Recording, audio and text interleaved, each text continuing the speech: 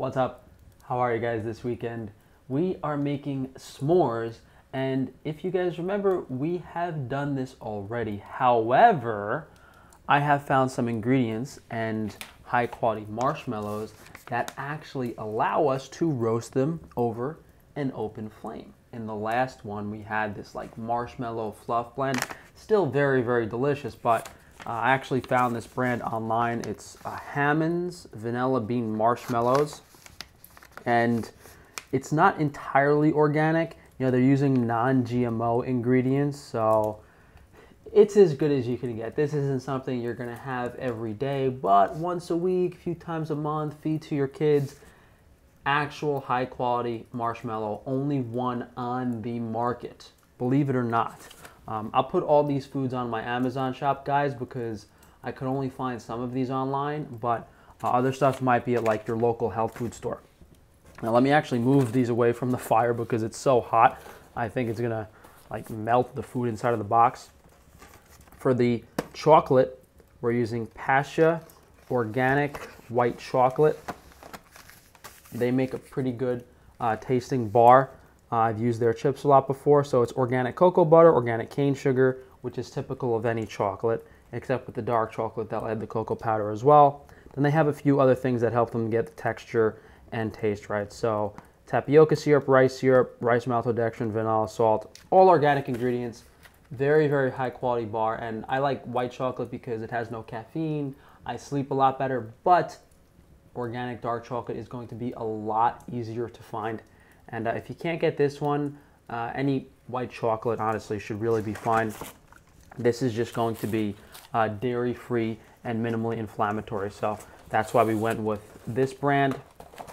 And the graham crackers that we used last time were slightly better from an ingredient perspective, but I think that company actually went out of business. Uh, these are the only organic graham crackers I could find anywhere. And, you know, some things in here that I'm not a fan of, like the organic sunflower oil, um, some of the preservatives, like the vitamin E, rosemary extract. They're putting baking soda, bicarbonate, cream of tartar in here. It's not that bad, but it's not that good. So again, not something you want to have every single day, but it could be much, much worse. And this is really just a pretty high amount of carbohydrates and it's not too many inflammatory fats. So we're gonna get these marshmallows on the fire while we prepare everything else. Now I do not have wooden skewers and I think these metal ones might get a little too hot. Now, if you don't have a fireplace, uh, you could use the barbecue, you could use like a gas stove top if you have that as well. Just really anything to brown the outside of the, the sugar on the, uh, the marshmallows. Now you could shift these on and off the fire until they're done, but you want to have everything completely ready because they're going to be really hot and this needs to be kind of eaten immediately. So this chocolate comes just like little rectangles. I like putting one on each of these. All right, so I don't know if normal marshmallows light up like that, but um, this is definitely a learning process. But, you know, it's melting and we got the char flavor on it, so that's all that really matters here. So this is what I like doing, just one cracker with piece of chocolate and the marshmallow on top. Now, if you guys don't have good self-control, I definitely would not uh, buy this because you're going to end up here, like me, eating 2,000 calories worth of healthy s'mores. All right, what's the actual calorie count? So five pieces of marshmallows is 80 calories, so not that many calories on the marshmallows. Two crackers is 130 calories, so we're at 260 plus 80 is 340. And then this actually isn't bad. Only 600 calories. I mean, still a decent amount, but it's not like a crazy amount. Then again, you know, I could probably eat like half the box of these graham crackers with all this stuff on it. It's not like super expensive either.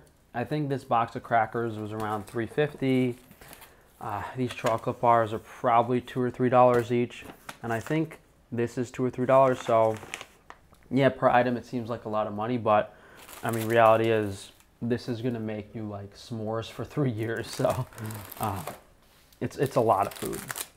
This is so delicious, and stuff like this really cheers me up because I have to you know stick to the diet so much, and I can't really deviate. But when I do come up with creative ideas and I'm craving certain things and it works out like this, I'm pretty happy about it.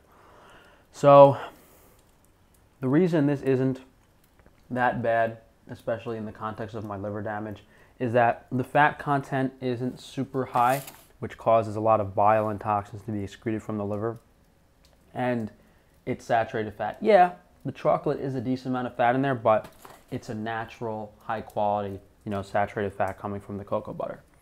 So as I said earlier, guys, this stuff is on my Amazon shop, amazon.com slash Frank Tufano if you'd like to uh, try this out.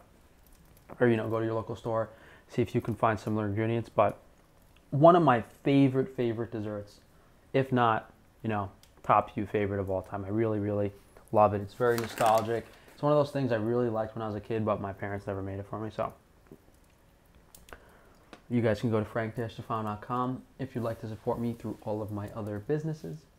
Outside of that, guys, please drop a like on the video, leave a comment down below, subscribe so that YouTube can unsubscribe you next week, and be sure to check that notification bell so they don't notify you of my videos. Thanks again, guys. I'll see you for the next video.